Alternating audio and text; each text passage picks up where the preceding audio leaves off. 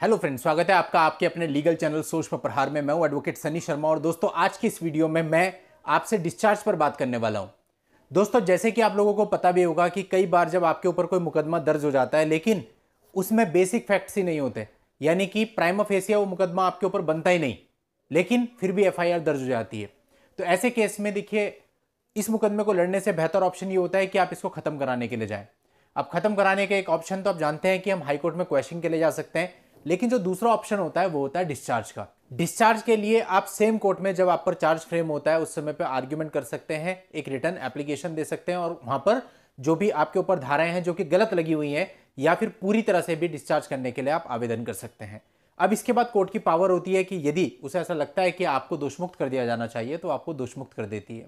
दोस्तों, इसी डिस्चार्ज पर अभी अभी एक लेटेस्ट रिसेंट जजमेंट आया है। उस जजमेंट की जानकारी आज की इस वीडियो में मैं देने वाला हूँ कि डिस्चार्ज को लेकर के क्या जजमेंट है, क्या नियम, क्या बताया गया है और आपके वो किस तरह से काम में आ सकता है। तो दोस्तों, यदि आपके ऊपर झूठी एफआईआर दर्ज हो गई है, चाहे वो 498 ए की हो, चाहे वो 376 की हो, या फिर वो कोई और हो, आपके लिए वीडियो बहुत ही अहम है, बहुत ही इंपॉर्टेंट है। आखिरी तक वीडियो में बने रहिएगा और यदि आपने अभी तक भी हमारे चैनल को सब्सक्राइब नहीं किया है तो चैनल को सब्सक्राइब करके नोटिफिकेशन बेल पर ज़रूर क्लिक कर लें, ताकि भविष्य में जब भी हम आपके लिए इस प्रकार की कोई वीडियो लेके आए, उसकी जानकारी आपको सबसे पहले मिले। देखिए दोस्तों, यहाँ पर हाईकोर्ट ने यह बताया कि जब ट्रायल कोर्ट डिस्चार्ज की एप्लीकेशन पर विचार करती है।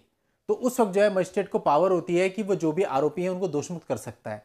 लेकिन ऐसा करते समय, यानी डिस्चार्ज के आर्ग्यूमेंट सुनकर उस पर निर्णय लेते समय मजिस्ट्रेट को, यानी ट्रायल कोर्ट को यह ध्यान में रखना चाहिए कि यहाँ पर आपको इविडेंस को नहीं देखना है कि भाई क्या क्या एविडेंस आए हैं। यहाँ केवल आपको एक चीज़ देखनी है कि प्राइम ऑफ़ एशिया प्रथम दृष्टिया, ये मामला इन लोगों पर बनता है या नहीं?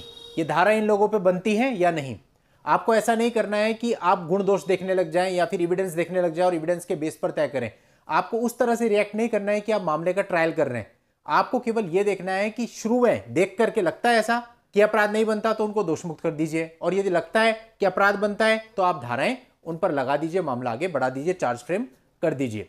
और अगर यह स्थिति आती है कि आपका संदेह है कि हाँ भाई, हो सकता है इसने किया हो तो ऐसे केस में भी आप चार्ज फ्रेम कर दीजिए। यानी कि डिस्चार्ज के टाइम पे यदि आप सोचते हैं कि मैं वहाँ पे एविडेंस दिखाऊँगा, ये करूँगा, वो करूँगा तो वो चीज़ें नहीं चलेंगी। डिस्चार्ज के टाइम पे केवल बेसिक फैक्ट्स को देखेगी कोर्ट और बेसिक फैक्ट से यदि वो संतुष्ट हो जाती है कि आप पर तो मामला बनता ही नहीं है तो वो आपको दोषमुक्त कर सकती है। लेकिन यदि कोर्ट ये समझती है कि इसके लिए ट्रायल ज़रूरी है और प्राइम एशिया ये मुकदमा बनता है या फिर संदेह है कि अपराध आपके द्वारा किया गया है तो फिर ऐसे केस में आपका डिस्चार्ज वहाँ से नहीं होगा। तो दोस्तों, ये बहुत ही इंपॉर्टेंट जजमेंट है।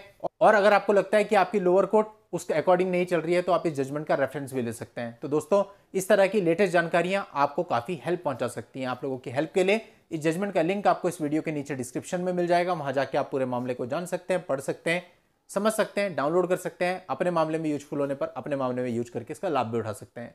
नेक्स्ट वीडियो में नई लीगल जानकारी के साथ मैं आपसे फिर मिलता हूँ। तब तक के लिए goodbye and thank you for watching take care